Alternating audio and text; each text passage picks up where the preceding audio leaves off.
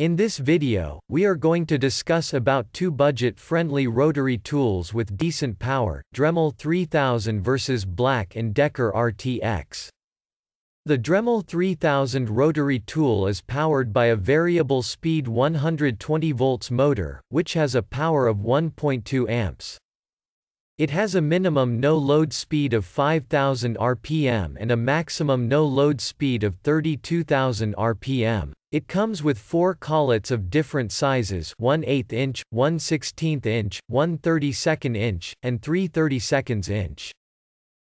Dremel 3000 comes with the EZ Twist nose cap to allow easy, quick accessory change. It has a wrench fitment inside the collar, which fits snugly onto the locking collet. Dremel 3000 runs very quietly. It won't grate your ears, even when running at the maximum speed. The handling is very solid and comfortable. Black & Decker RTX-B only comes with 5 accessories, a wrench, and a storage bag. On the other hand, Black & Decker RTX6 comes with 27 accessories, 2 spring clamps, a wrench, and a soft-sided carrying case. It is armed with a 2.0 amp motor with a variable speed switch for 12,000 rpm, 24,000 rpm, and 30,000 rpm. It has a universal collet system and a flip-lock spindle lock system.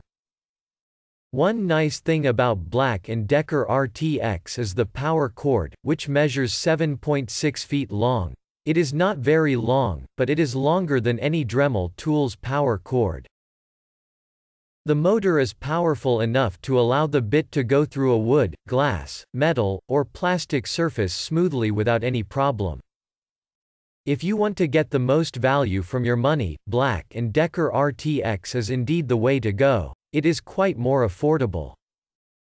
If you want to read more about the comparison of Dremel 3000 versus Black & Decker RTX and buy it online at the best price, you can check link on description below.